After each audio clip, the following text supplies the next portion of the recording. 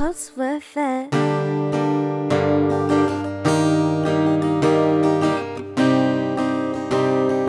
I could be a better boyfriend